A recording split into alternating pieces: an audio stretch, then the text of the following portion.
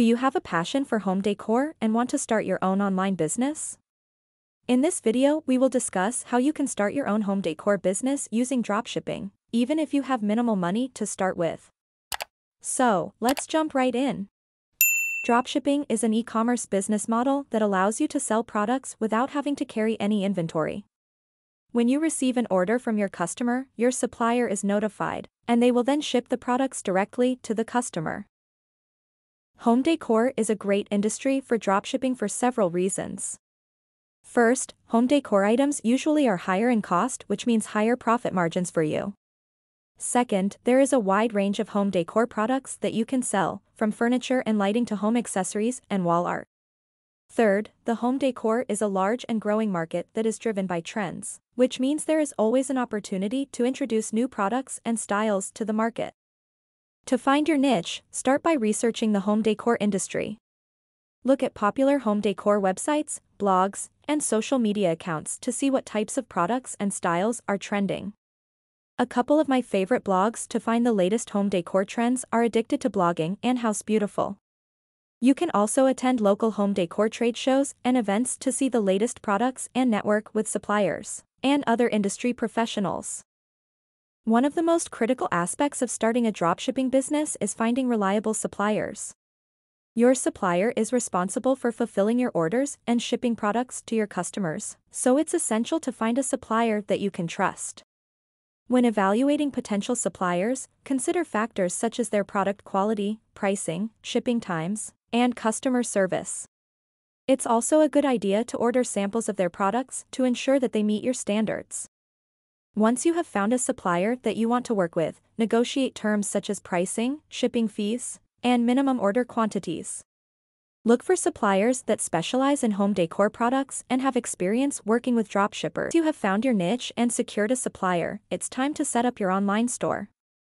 When it comes to dropshipping, two popular platforms that e-commerce entrepreneurs use are Shopify and WooCommerce. Both platforms have their own pros and cons, so it's important to understand the key differences before choosing one for your business. WooCommerce is a WordPress plugin that turns your WordPress site into an e-commerce store. This is a good option for businesses that already have a WordPress site or blog and want to add e-commerce functionality to it. Shopify is a hosted e-commerce platform that includes everything you need to set up and run your online store. It's easy to use and comes with a wide range of features. One advantage to using Shopify to build your online store is they have integrated with a variety of dropshipping apps. This instantly gives you access to thousands of dropshipping and wholesale suppliers. This is very convenient especially when just getting started because it will seamlessly send your customer order information to your dropshipping supplier letting them know to prepare and ship out the order for delivery. There is a link in the description below if you want more information. Creating a strong brand is essential for building a successful home decor business. Your brand should reflect your niche, values, and target audience and should differentiate you from your competitors.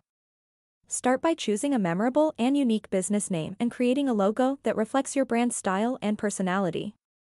You should also create a brand message that communicates your mission and values to your customers. Once you have established your home decor business and have a steady stream of sales, you can start scaling your business. One way is to expand your product line.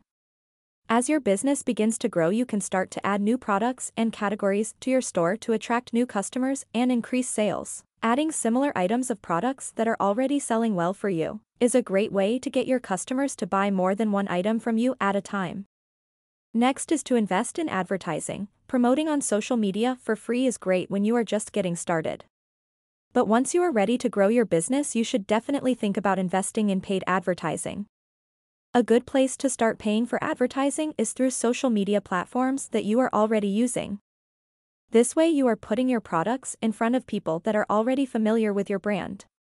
This can help to generate more sales faster. Another way to scale is to hire employees.